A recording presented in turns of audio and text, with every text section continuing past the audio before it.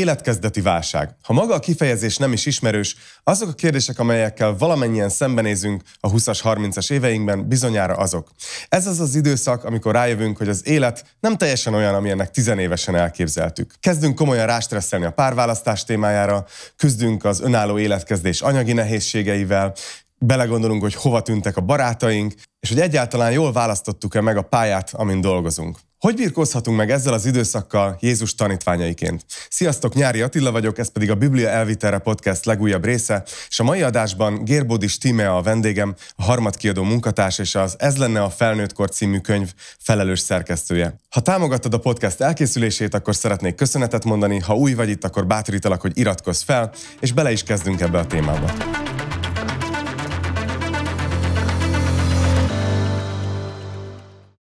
Timi Isten hozott a stúdióban. Köszönöm, hogy elfogadtad a meghívást. Köszönöm szépen a meghívást, Attila. Keretezem egy kicsit, hogy honnan jött ez a téma, meg ez a beszélgetés. Néhány hónapja írtál nekem, felkértél, hogy írjak ajánlást ehhez a könyvhöz, amit már előbb fel is mutattam, és itt van a szép kis szép kis szövegem a hátoldalon, és uh, ahogy elolvastam a könyvet, az volt őszintén az érzésem, hogy, hogy tényleg ez egy olyan témát boncolgat, amiről keveset beszélünk. Tehát ez egy viszonylag uh, új téma volt nekem is, de közben olyan kérdések, amelyek kell tényleg mindannyian szembenézünk az életben, és egy nagyon őszinte, szókimondó, vicces, és, és emellett a Bibliában gyökerező anyag ez a könyv. Úgyhogy azzal kezdeném, hogy ugye az a címe, hogy ez lenne a felnőttkor, kérdőjel, és az alcím, hogy Jézussal az életkezdeti válságon át. Hogy mi ez az életkezdeti válság? Hogy tudnád definiálni? Uh-huh.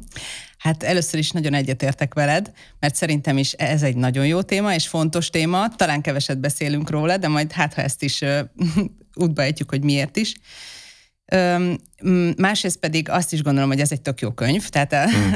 tényleg, ahogy mondtad, vicces, ugyanakkor nagyon szókimondó, de laza módon, és ez egy olyan mélyen lelki könyv, ami nem szakad el nagyon a gyakorlati valóságtól, ami szerintem elég fontos. Ebben a témában talán különösen is fontos, hogyha fiatal felnőttekhez szól. Mi is ez az életkezdeti válság? Érdekes, mert van ennek egy nagy testvére, az élet közepi válság. Arról Igen, lehet, arról hogy egy többet, kicsit többet beszélgetünk. Többet az élet kezdeti válság az mondjuk a 18 és 30 év közötti fiatal felnőtteket érinti, vagy ők élik át ezt leginkább, tehát mondjuk a 20-as éveikben járó mhm. fiatal uh-huh. felnőttek, és ahogy a nevében is benne van, ez egy válság, tehát ez egy, ez egy negatív, rossz érzés, csalódottság tulajdonképpen, egyfajta kiégettség is, ami eltarthat egész hosszan, akár az egészen a 20-as éveink végig, tehát hogy egészen végig kísérheti a 20-as éveinket is, és a könyv szerint egyébként közel 70%-unk tapasztalja valamilyen mértékben. Mm. Tehát, hogy a legtöbb 20-as éveiben járó fiatal szembesül ezzel a, ezzel a dologgal nagyon sok minden beletartozik ebbe, de, de nagyjából úgy tudnám ezt szemléltetni, hogy mondjuk a kamaszkorunk végén megérkezünk uh-huh. a felnőttkor küszöbéhez. Amit nagyon várunk. Amit nagyon várunk. Hozunk magunkkal egy nagy csomagot, ami tele van egy csomó mindennel, de például lehet benne mondjuk keserűség azzal kapcsolatban, hogy fú, a kamaszkorban már nagyon szeretnénk kitörni, tehát már szeretnénk szabadok lenni, saját döntéseket hozni, eldönteni, hogy, hogy mivel foglalkozunk, hova megyünk nyaralni, kit választunk barátnak, stb. Most már szüleink ne szabják meg ezeket a kereteket, mert szeretnék a szabadságba átlépni, Más szempontból meg jó esetben van egy ilyen, egy ilyen nagyon pozitív várakozás, hogy most jön az önkiteljesedés időszaka, Igen. amikor megválthatjuk a világot, bármi lehet belőlünk, és, és, és ez, ez egy nagyon jó dolog egyébként, hogy így lépünk bele a felnőttkorba, hogy már szárnyalni szeretnénk. Tehát uh-huh. ez tök jó egyébként. Csak hát a felnőtti válás azért az egyel lassabb és bonyolultabb procedúra uh-huh. annál, mint hogy csak átlépjük ezt a küszöböt. És sok esetben előfordul az, biztos, nem tudom, hogy te is tapasztaltad, de én mindenképpen, uh-huh. hogy, hogy amikor elkezdődik a felnőttkor, akkor, akkor nem hogy egy kicsit így a mélyvízbe beleesnénk, és meg kell tanulnunk úszni. Igen. Jönnek kicsit a szürke hétköznapok, jön az, hogy hát nem azonnal keresünk sok pénzt, nem azonnal tudunk bármit megengedni magunknak, a döntéseinknek már viselnünk kell a következményeit, stb. Szóval hát nagyon sok minden bele tartozik ebbe. Hogyha megengeded, lehet, hogy felolvasnék egy részletet a könyvből, Jó. mert, mert Rachel Nézzük. Jones, aki írta ezt a könyvet, ő maga is egy 20 éves fiatalként írta, egyébként talán 26 évesen írta, uh-huh. és ő például a következőt fogalmazta meg. 24 éves voltam, az ágyamon gubbasztottam, és mélységesen sajnáltam magamat. Nem arról volt szó, hogy szétesett volna az életem, hanem pont, hogy nem állt össze egy egészé. Bizonyos szempontból látszólag minden rendben volt, tuti állás, alacsony lakbér, aktív gyülekezeti élet, és mégis. szörnyen uh-huh. untam a munkám, titokban magányos voltam a gyülekezetben, abba pedig inkább ne is menjünk bele, hogy milyen furák voltak a lakótársaim. Semmi nem volt nagyon rossz, de semmi nem tűnt igazán jónak sem. Uh-huh. Bármit is képzeltem korábban a felnőtt életről, ez nem az volt. Fel is tettem magamnak a kérdést, ez lenne a felnőtt kor.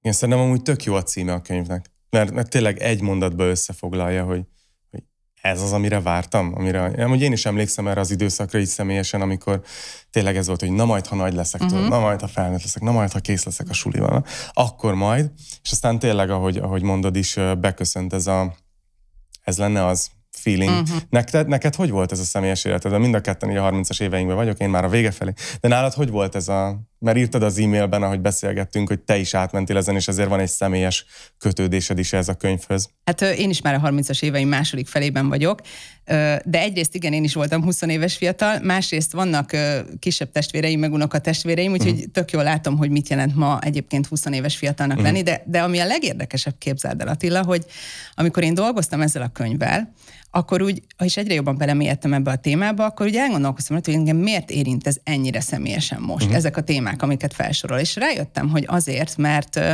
mert én néhány évvel ezelőtt kezdtem újra dolgozni, azután, hogy tíz évig otthon voltam a kisgyerekeimmel, uh-huh.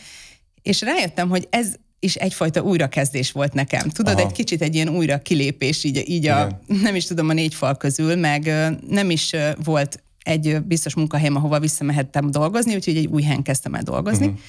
Szóval egy, egy nagyon erős újrakezdés volt, és ez újra előhozta bennem azokat az érzéseket, uh-huh. meg mhm. bizonytalanságokat, amiket 20 éves koromban is átéltem. Nekem ö, talán ami leginkább eszembe jut, az a döntésképtelenség. Egy kicsit uh, az, uh-huh. hogy olyan sok út közül lehet választani, hogy ettől úgy hirtelen lefagysz. Én például nem tudtam rögtön érettségi után eldönteni, hogy mi leszek, ha nagy leszek úgy, úgy nagyjából tudtam, hogy mi érdekel, meg talán miben lehetek jó, de végül is angol történelem szakon tanultam tovább, és úgy nyitva hagytam a kapukat, de de ugye az egész 20-as éveim alatt azt éreztem, hogy még mindig lehetnék akár író is, még lehetnék akár angol tanár is, és még lehetnék akár ez vagy az. Úgy sok mindent tartottam a, a, a tűzben, és Aha. nem mertem elindulni, tudod, egy irányba. És nem kérdezek rá, hogy már eldőlte. Én sokszor azt érzem még a mai napig egyébként, hogy, hogy annyi lehetőséget hoz az élet, hogy, hogy, hogy ahogy megyünk előre, egyre több nemet is kell mondani, vagy egyre több dolgot így lezárni. De ha, ez tök érdekes volt, hogy mondtad, hogy visszakerültél a munkát, mint hogyha egy újra átélted volna ugyanazt a, az időszakot. És akkor ez a döntésképtelenség mellett volt még más téma, ami így megjelent benned? Esetleg olyan téma, amit a könyv is felhoz? Uh-huh. Egyébként erről is szól egy fejezet a döntés, döntési uh-huh. nehézségekről.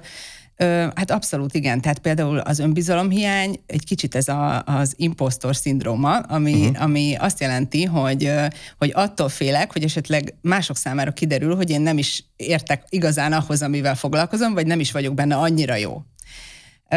Ez nagyon érdekes dolog, mert, mert azt hinné az ember, hogy ez is egy önbizalomhiány, de valójában igazán attól félek, hogy mások előtt fogok leégni, tehát ez uh-huh. egyfajta ilyen fonák büszkeség, vagy nem is tudom, de uh-huh. hogy egy ilyen elemi bizonytalanság, és abszolút ezeket a, ezeket a dilemmákat megszólítja ez a könyv, úgyhogy azért is szólt hozzám most is így uh-huh. nagyon személyesen.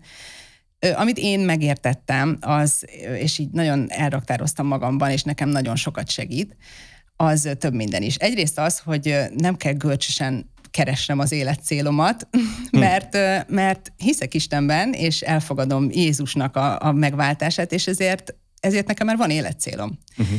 Én, én a mennybe tartok, és azért élek, hogy Isten dicsőítsen. Most egy kicsit lehet, hogy ez ilyen vasárnapi iskolai válasznak tűnik, de ez annyira személyesen az ember, hogyha magáévá tudja tenni, akkor ez, ez egy nagyon nagy megkönnyebbülés. Igazából van életcélunk, tehát nem kell görcsösen megkeresnünk, és nem az arról van szó, hogy csak egy tökéletes út van, amiben én kiteljesedhetek, és ha mondjuk írónak lettem volna tökéletes, de én angol tanár leszek, akkor már ezt elbuktam. Igen hanem, hanem hogy egyébként van már egy nagy célja az életemnek, amerre tartok, és nekem ez egy nagyon nagy könnyebbség volt. A másik az, hogy, uh-huh.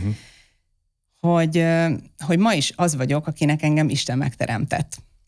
Minden estül. Szóval, hogy Nem az, hogy majd megérkezel egyszer, igen, erre gondolsz? Igen, igen. Hogy, hogy engem Isten így, ahogy van, teremtett meg, már az összes tulajdonságom hmm. az enyém volt a születésem pillanatában, vagy a fogantatásom pillanatában, az összes olyan tulajdonságon is, amiről én lehet, hogy azt gondolom, hogy nem igazán jó, meg nem segít nekem az előre haladásban, de hogy ő ezeket tudatosan így tervezte meg, gyönyörködik bennem, és, és alig várja, hogy, hogy, uh-huh. hogy haladjak azon az úton, amit ő, amit ő elém adott.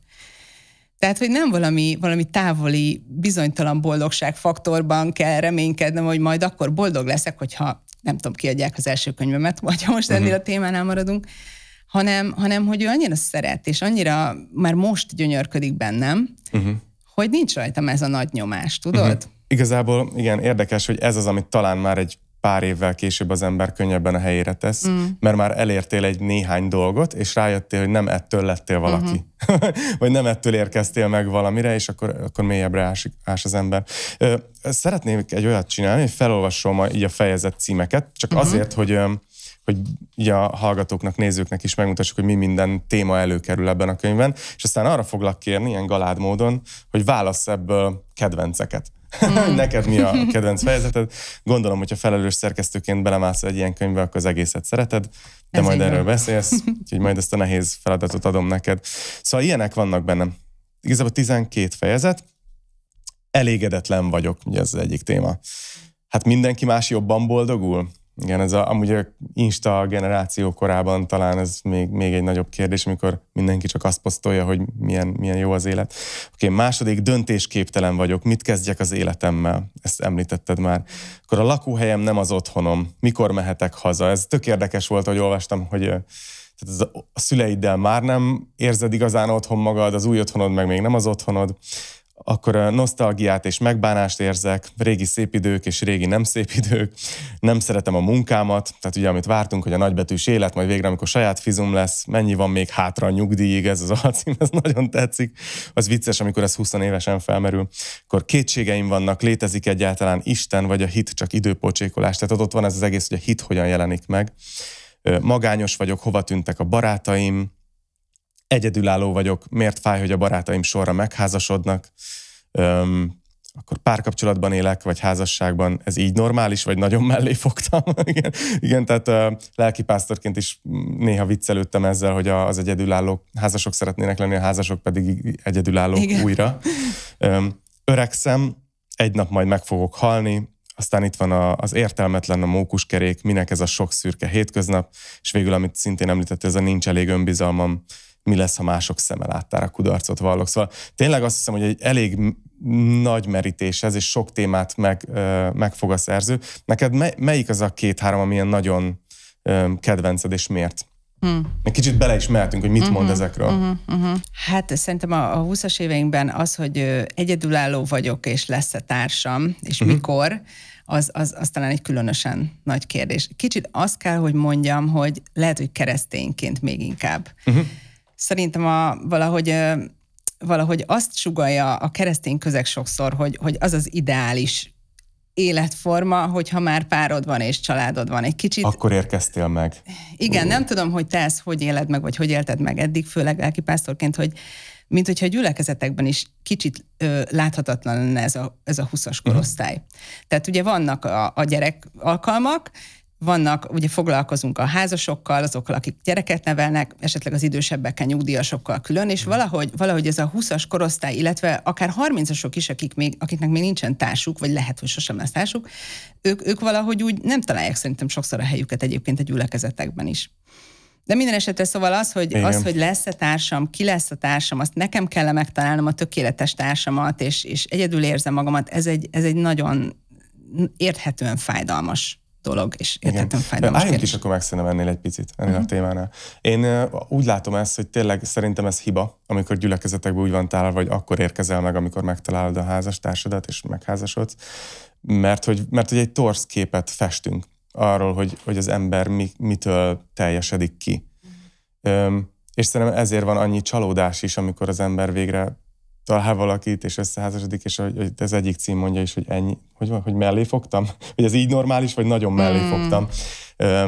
De, de még akkor is, hogy valakinek tényleg boldog és, és jó házassága van, akkor is rájössz, hogy oké, okay, mostantól együtt csináljuk az életet. Uh-huh. De vala, volt egy ilyen instaposzt, amit egyszer láttam, hogy, hogy egyedülállónak lenni nehéz, és háznasnak lenni is nehéz. Uh-huh. Melyik nehézséget választod, vagy szeretnéd, és valaki meg nem választja, hanem melyik, melyik jut. Melyik a te utad, igen. Igen, de hogy, de hogy alapvetően szerintem torszképet festünk, ha azt festjük le, hogy na, akkor majd megérkeztél. Csak mindig úgy érzem, hogy házasként erről beszélni, aki 20-as éveim elején házasodtam meg, uh-huh. erről mindig hiteltelen vagy furcsa.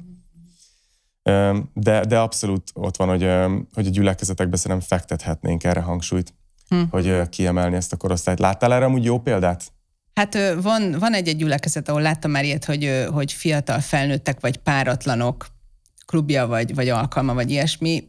Nem tudom, hogy, hogy ez mennyire, kinek mennyire esik jól, hogyha mondjuk páratlannak nevezik őt, vagy, vagy nem tudom, szingliek, szóval, hogy nem tudom, nem, igazából nem, azt kell mondjam, hogy igazából nem, mhm. nem láttam jó példát, de ez csak így felmerült bennem, hogy szerintem ez egy érdekes kérdés, vagy ezen szerintem érdemes hm. gondolkozni. Tehát szerintem ez is egy kicsit mélyíti az élet kezdeti válságot. Uh-huh. Tudod, sok olyan dolog, sok olyan megjegyzés van, hogy, hogy mi keresztényként bizonyos, nem tudom én, nem kéne depressziót éreznünk, vagy nem kéne annyira elmélyednünk ezekben a mély nehéz érzésekben. Talán az életkezdeti válság is ilyen, hogy lehet keresztényként könnyebb. Hát tudod, van ez a, van ez a klisé válasz nagyon sok mindenre, például az önbizalom hiányra. A világnak az a válasz, hogy állj a tükör elé, és mondd el magadnak naponta 30-szor, hogy nagyszerű vagyok. Na, Igen. és akkor a keresztény verziójának az, hogy nézd Istenre, mert Isten mekkora, hat, milyen hatalmas Istened van oké, okay, oké, okay, csak hogy ez, ezzel még így a hétköznapokban azért, azért nehéz mit kezdeni. Tehát, hogy igazán azt kell felismernünk, hogy Isten bennünkkel és személyesen velünk foglalkozik, az egy nagyon nehéz érzés, hogy, hogy szeretve érezzük-e magunkat, tehát hogy, hogy, hogy nehéz érzés magányosnak lenni, és nehéz érzés azt érezni, hogy nincs mellettem valaki, aki engem különlegesnek tart, és, uh-huh. és, és ennyire megbecsül. És itt is azt tudom mondani, hogy szerintem annyira fontos az, hogyha, hogyha meg tudjuk érteni, hogy Isten mennyire szeret minket személyesen. És hogy az ő szeretete az, az az olyan szeretet, ami, ami minden felett átível, és tényleg a hibáinkkal, és mindennel együtt ő annyira szeret, és olyan különlegesnek tart mindenkit, egyen-egyenként mindannyiunkat. Szerintem ez, ez egy nagyon-nagyon fontos dolog.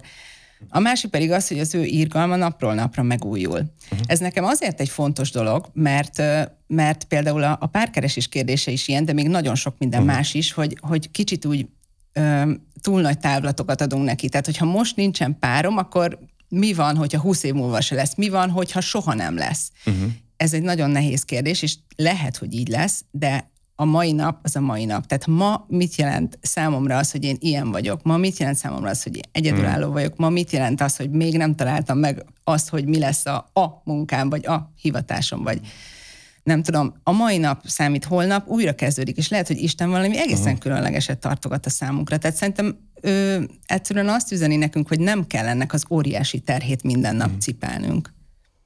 Van-e még kedvenc témád? Nézzünk. Még, még, Hú, még sok minden van. Sok minden van. Például akár az is, hogy mit jelent az otthon. Oké, okay, oké. Okay.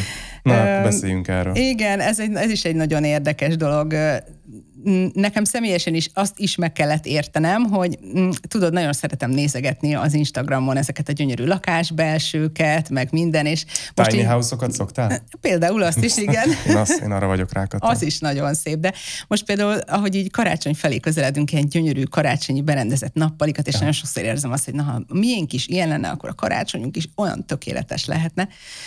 És ilyenkor mindig arra gondolok, hogy ezt is kicsit bálványozzuk, ezt a tökéletes otthon uh-huh. kérdését is, tudod, szóval, hogy ez is olyan, hogy nem, nem ezen múlik a boldogság. Még csak nem is azon múlik, hogy a saját lakásomban, vagy albérletben, vagy, vagy valaki kivel együtt élek. Nyilván ezek nagyon fontos dolgok, de hogy néha úgy érzem, hogy egy kicsit túl nagy jelentőséget hmm. tulajdonítunk ennek. Mindeközben nagyon fontos dolog egyébként az otthon érzés, ez egy biztonságérzés. Tehát van is itt egy ilyen, egy ilyen teszt a könyv elején, hogy, hogy vannak ilyen mondatok, amiket, hogyha felolvasol és magadra ismersz, uh-huh. akkor, akkor rád is vonatkozik ez, és van köztük például egy ilyen is, hogy csomó cuccod van még a szüleidnél. Hát igen, de ez is olyan dolog, hogy, hogy szerintem sokáig azért hagyunk ott cuccokat a szüleinknél, mert, mert az egy igazi otthonérzés, és oda úgy visszavágyunk, és akkor ahol élünk, az ott nem kell elköteleződni, nem kell azt éreznünk, hogy ez az otthon, vagy, vagy nem tudjuk azt érezni. De ez egy nagyon érdekes kérdés, mert hogyha cuccaink a szüleinknél vannak, akkor pedig még részben gyerekek vagyunk. Szóval ez egy kicsit ilyen felelősségvállalás kérdése is szerintem, hogy, uh-huh. hogy elköltözünk-e, vagy, vagy mi lesz. Miközben óriási nehézség ma egyébként egy, egy saját otthon, vagy akár csak egy albérletet megengednie magának az embernek. Szóval elképesztő anyagi vonzata van, amit szerintem teljesíthetetlennek tűnik. Szóval, szóval ez, egy, ez is egy akkora dolog, hogy, hogy, hogy senki ne érezze magát kudarcnak azért, mert nem tud, nem tudom, 20 hmm. évesen megvenni egy lakást. Tehát ez, ez elképesztő dolog, hogyha valaki megteheti, de, de ez nem, nem kell, hogy kudarcérzést okozzon. Szeretnék én is behozni egy-két témát. Az uh-huh. egyik az a barátság. Uh-huh. És ugye ez ki van emelve több helyen a könyvben, hogy van egy ilyen változás is ebben az életkezdeti válság időszakában, hogy az ember már egyre kevésbé arra vágyik, hogy csak így lógjon uh-huh. emberekkel, és jól érezze magát, az is jó, de hogy vágyik az ember barátokra, őszinte mély barátságokra, de olyan érdekes, hogy miközben az igény erre növekszik, mint egy másik görbe pont keresztbe menne ezzel, hogy annál kevesebb igazi barátja van az embernek. Szokták mondani, hogy Jézusnak az egyik legnagyobb csodája az volt, hogy 30 évesen még volt 12 barátja, hmm. de hogy de hogy erről így mit, mit mond a könyv, meg te hogy látod a, a mai mai fiatal, hú, de hallod, azt mondtam, hogy mai fiatalok. De hogy, tehát, hogy te hogy látod például ezek a 20 évesek életében, akivel te kapcsolatban vagy, ezt a témát, uh-huh. a barátság témáját, és hogy mit mond erről a szerző? nagyon szükségünk van barátokra, azért azt gondolom, és szerintem, ahogy így, így haladunk előre, talán egyre inkább megértjük ezt is, hogy mennyire. Uh-huh. Igen, ez is egy nagy felismerése a felnőtt kornak szerintem, hogy, hogy már egyrészt nincs is annyi időnk bulizni, meg szórakozni szerintem, másrészt, vagy hogy... Pénzem. Vagy igen. pénz, igen. Másrészt, hogy nem is feltétlenül erre vágyunk, hanem, hanem emberi kötődésekre, mert arra vágyunk, hogy megoszhassuk egymással a dolgainkat, az örömeinket uh-huh. és a bánatainkat, ehhez viszont kölcsönösnek kell lennünk, tehát nekünk is érdeklődnünk kell másoknak a dolgai iránt, és, és ez egy nagyon érdekes felismerés, hogy én ebben mennyire tudok önzetlen lenni, mennyire tudok én is ott lenni másoknak. Nagyon érdekes, hogy hallottam még mostanában egy ilyen gondolatot, hogy sokan azt szokták mondani, hogy abból derül ki, hogy ki az igazán jó barátod, hogy ki az, aki melletted van, amikor valami bajba kerülsz. Uh-huh. De lehet, hogy igazából azok a jó barátaid, akik melletted vannak akkor, amikor valami sikert érsz el, és együtt tudnak örülni veled. Tehát, hmm. hogy ez is egy nagyon érdekes dolog, hogy, hogy erre úgy ráismer az ember. Én például erre is ráismertem egy bizonyos életkorban, hogy hmm. lehet, hogy azért vannak a barátságaim, hogy úgy együtt keseregjünk, tudod, együtt panaszkodjunk, hogy az élet dolgai felett, de tehát ne, nem, tehát a barátság, az igazi barátság az ennél sokkal több és szerintem érdemes befektetnünk tényleg a kapcsolatainkba, érdemes nyitott szemmel járnunk, érdeklődnünk az emberek iránt, megkérdezni egymástól őszintén, hogy hogy vagy, és megtanulni értő módon hallgatni. Uh-huh. Mert akkor lesznek igazán emberi kapcsolódásaink és igazán mély közösségeink egymással. Annyi téma van itt, hogy egyébként még rengeteg másikba is bele tudnék um, csapni, de még egyet szeretnék beemelni ide a beszélgetésbe, és ez a mi történik a hitünkkel, így a 20-as éveinkben. És talán egy kicsit egyébként kapcsolódik ez az otthonnal is, főleg azoknak az embereknek, akik mondjuk keresztény családban nőnek fel és önállósodnak, hogy igazából életükben először újra definiálhatják, vagy felmerül az, hogy, hogy mit is hisznek valójában, és mi az, amit mondjuk nem. Uh-huh. Tehát, hogy mi az, amit megtartanak abból, amit hoztak otthonról, mi az, amit elengednek. És hogy és hogy valakinek talán a, a legmélyebb kétség is e, e, ekkor jön. Nekem ez, ha visszaemlékszem jobban, nekem inkább ugye tizen, tehát tínédzser korom végén jött ez a létezik-e Isten, tehát a 20-as éveimben ez már nem volt kérdés, de viszont az, hogy mit gondolok egyébként fontos teológiai kérdésekben, gyülekezetről, stb., az azért nagyon formálódott ott abban az évtizedben még. Úgyhogy kíváncsi lennék, hogy, hogy te ezzel kapcsolatban mit gondolsz, tehát hogy mi történik uh-huh. ott az ember hitével, meg a hit életével a megélt uh-huh, részével. Uh-huh, uh-huh a 20-as években. Ahogy az elején is említettem, ezért is szeretem nagyon ezt a könyvet, mert itt például pont a lege, e, már a borítóján is nagyon őszinte kérdések vannak megfogalmazva. Uh-huh. És például itt van ez is, hogy, hogy Isten létezik-e valójában. Uh-huh. Szerintem ez egy olyan kérdés, amit mindenkinek fel kell tennie. Tehát ezt nem ciki feltenni, ezt egyszerűen anélkül valahogy nem érik meg szerintem a hitünk, uh-huh. hogy egyszer ezt fel, legalább egyszer ezt felnetennénk magunknak ezt a kérdést, és, és bizony van olyan, hogy ezzel hosszan birkózunk, és szerintem az sem ciki egyáltalán. Uh-huh.